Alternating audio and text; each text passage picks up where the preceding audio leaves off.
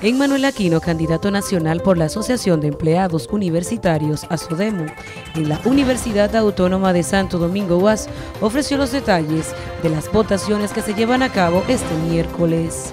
Bueno, es que precisamente es un proceso interno de la Universidad Autónoma de Santo Domingo que hemos logrado en función de, de la lucha que hemos tenido, porque debe realizarse cada cuatro años y no las autoridades no lo habían permitido.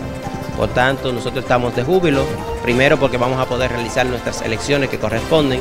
Y segundo porque estamos terciando dentro de esta justa electoral para estar dentro de la dirección nacional. Nosotros hemos sido eh, seleccionados por un grupo de compañeros que entienden que el trabajo que hemos hecho desde San Francisco de Macorís tiene mérito suficiente para ir a aportar en la dirección nacional. Y en ese sentido estamos dentro de la coalición que lleva la corriente Narciso González, a la corriente Juan Pablo Duarte, la corriente eh, Guido Gil y la corriente nuestra, la Roberto Duverger. Afirma, aunque con algunos retrasos, es un logro de manera democrática para el gremio. Más tarde se conocerán los resultados de las votaciones donde los empleados elevan su voz en beneficio de todos.